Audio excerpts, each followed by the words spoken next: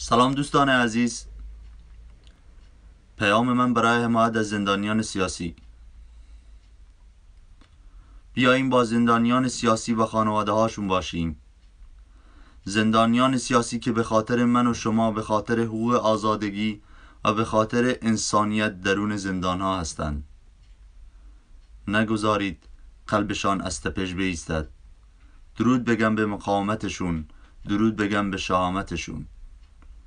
زندان ترسناک رژیم قاتل و جنایتکار ایران که هر روز و هر روز یکی از زندانی ها را اعدام و شکنجه می کند چند روز پیش دوباره زندانی دیگری به اسم بهنام محجوبی و شیانه شکنجه کردن و کشتن.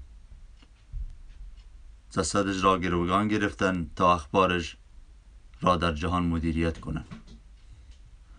بهنام و کسانی که در زندانهای ایران بودن و هستند اونا ترجیح دادن طرف درست تاریخ بیستند شما هم با پیام هاتون از زندانیان سیاسی حمایت کنید.